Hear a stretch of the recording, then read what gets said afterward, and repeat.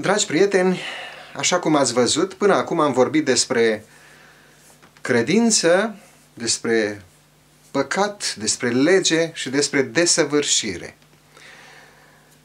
Și am uh, căutat să vedem cum se raportează aceste lucruri, fiecare din ele, la cele două perspective. La perspectiva legalistă și la perspectiva credinței sau a relației cu Dumnezeu. Pentru că într-un fel se percep lucrurile dintr-o perspectivă și în alt fel în cealaltă perspectivă. Am spus data trecută că desăvârșirea, cuvântul acesta în sine, nu se leagă în mod direct de problema păcatului. Dar neprihănirea despre care discutăm acum se leagă în mod direct de problema păcatului pentru că cuvântul neprihănire conține rădăcina aceasta prihană. Prihana este pată morală, este vină, este păcat. Neprihănirea înseamnă starea fără păcat. Dar ce înseamnă neprihănirea prin credință? Neprihănirea prin credință este o doctrină, este o dogmă creștină.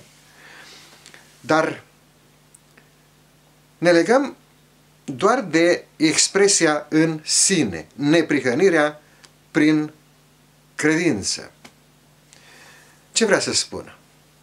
Vrea să spună că această stare de neprihănire, de curăție morală, se obține prin credință. Iar credința, dacă vă aduceți aminte, credința este relația cu Dumnezeu. Deci biruința păcatului, neprihănirea se obține doar prin credință și nu prin alte mijloace neprihănirea prin lege, neprihănirea prin fapte bune și așa mai departe, ci doar prin credință.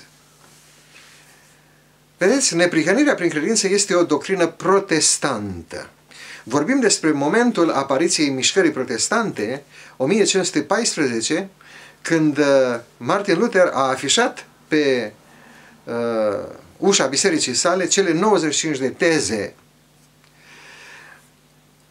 ceea ce a declanșat apariția protestantismului, practic a fost în legătură cu cea mai grosolană sau cea mai flagrantă uh, formă a acestei concepții, a mântuirii, prin, a mântuirii prin fapte, și anume mântuirea prin bani. Și de fapt, confruntarea dintre mântuirea prin fapte și mântuirea prin credință a fost prezentă de-a lungul întregii istorii a religiilor, începând cu Cain și Abel. Cain și Abel sunt două simboluri foarte potrivite pentru cele două concepte. Mântuirea prin credință, Abel, și mântuirea prin fapte, Cain. De-a lungul istoriei, filonul iudeo-creștin este reprezentantul mântuirii prin credință, sau ar fi trebuit să fie în mod curat reprezentantul acestei concepții uh, de credință. Iar celelalte religii, religiile, toate religiile păgâne și cele necreștine, au în esența lor conceptul mântuirii prin fapte. Apostolul Pavel, la vremea lui, este cel care observă foarte bine și relatează, descrie această diferență dintre mântuirea prin fapte și mântuirea prin credință. El are în vremea lui exemplul fariseilor, care aveau o religie legalistă, și în mod deosebit exemplul legaliștilor iudaizanți, care nu concepeau ca cineva să fie creștin fără, mai întâi să țin, fără ca mai întâi să țină legea evreilor.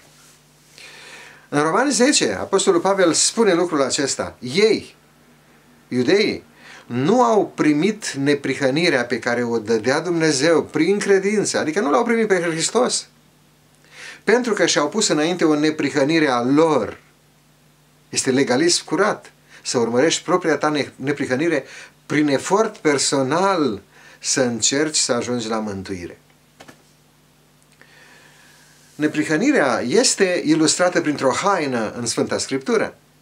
Nu poți să îmbraci o haină nouă haina neprihănirii sau a îndreptățirii Domnului Hristos până nu dezbraci haina cea veche, haina îndreptățirii de sine, meritele sale, pretenția la uh, ceea ce poți să faci tu pentru mântuirea ta.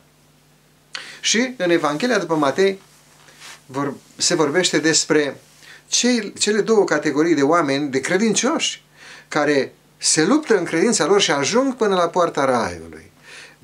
Unii bat la poartă și sunt întrebați, cine sunteți voi? Și ei răspund, noi suntem cei care am făcut minuni, am propovăduit, am uh, scos demoni în numele tău. Dar nu v-am întrebat ce, ce faceți, ce ați făcut. V-am întrebat cine sunteți. Nu vă cunosc, niciodată nu v-am cunoscut. Iar ceilalți bat la poartă și în aceeași întrebare, cine sunteți voi? A, vă cunosc! Intrați! Intrați, pentru că voi ați făcut minuni în numele meu, voi uh, ați prorocit în numele meu și așa mai departe. Și ei, culmea, întreabă, Doamne, dar când am făcut noi aceste lucruri? Nu, nu ne aducem aminte. Și unii și alții au fapte, au făcut ceva, au lucrat ceva. Și legaliștii și credincioșii lui Dumnezeu. Numai că unii au făcut multe fapte gândindu-se că aceste fapte pot să fie niște merite înaintea lui Dumnezeu și au început să se încreadă în ele și le-au ținut minte, le-au socotit, iar ceilalți nu le-au ținut minte, pentru că le-au făcut din dragoste, ca răspuns al inimii lor la dragostea pe care au, ținut, au simțit-o din partea lui Dumnezeu. Cei care au făcut în mod, ei sunt cei care au făcut în mod natural aceste fapte, nu s-au gândit să le contabilizeze. Aceasta este diferența. Închei cu întrebarea.